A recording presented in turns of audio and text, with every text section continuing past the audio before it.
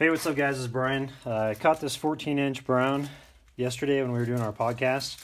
And so I wanted to go ahead and cook it up and show you guys the easiest way to debone a trout. So, what I'll do is I'll clean the interior and then I'll stuff it full of these lemon wedges here. So, we're going to pull these out. Wow, I baked this really good. It's just falling apart. This is going to be absolutely fantastic. Um, I also take an additional piece of tinfoil and put it down underneath because this one will probably leak. You don't want it to get all over everything and then create um, that fish odor. But the easiest way to do this is you come in and you just put your fork down on, on the underside here. And I tested it earlier, so it's already ready to go. But all you do is you just simply pull up like this. Whoops. Yeah, we're doing good. Then you just start pulling up like this right here. You see how the bones come up? All right, so we got a few sticking out. There's two right there. Let's see, everything else looks pretty good. So this this is really good meat right here. This is all a huge fillet.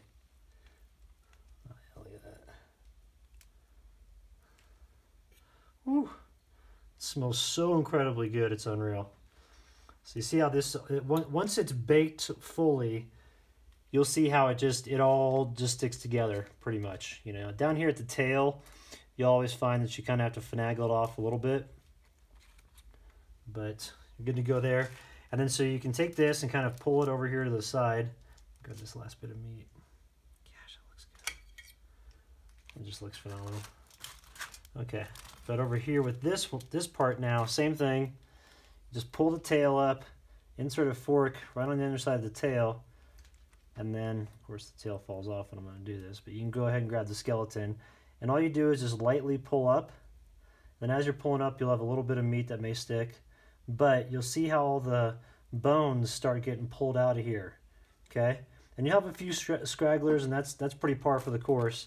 So all you do is come back through and just take a few of them out like that and that way you get all the bones out of the trout. That's the biggest. That's one of the biggest problems of eating this fish is if you don't know how to debone it. You know, you'll literally spend your entire meal just picking through fish meat trying to get the bones out, and you know that's no good. So you want to go ahead and just get them all out as easy as possible without totally decimating the uh, fillet of meat. And then you just pull them over. Nice big one right here. Oh, this is going to be a ton of food for dinner. I'm very thankful for this. This is awesome. I wasn't planning on harvesting a trout, but unfortunately the fly or the uh, hook was set so deep that I couldn't get it out, and it was puncturing the um, the gills. And when you do that, the fish have a tendency to bleed out and die anyway. And so I wanted to go ahead and, um, you know, if this if this one was going to die, go ahead and get a little nourishment out of it. But normally I just catch and release. And lo and behold, Sierra just showed up. Look at that. So um, I'll go ahead. There's a little bit more meat I can pick off here. Give a little taste. Oh my gosh, it's amazing. But you can see here, I pretty much filled up like half of a plate with incredibly awesome organic trout meat. Then I'm going to do some fruit. And uh, think I've got, I think I've got some potato salad as well. So I'm just gonna go ahead and enjoy this. I'm gonna taste a little sample real quick. Oh my gosh, that's phenomenal. All right, I'll tell you debone a trout. Then also make sure you properly um, get rid of your your fish fish uh, you know stuff that's left over because that'll attract animals. So make sure you dispose of that properly. But anyway, that's how to debone a trout.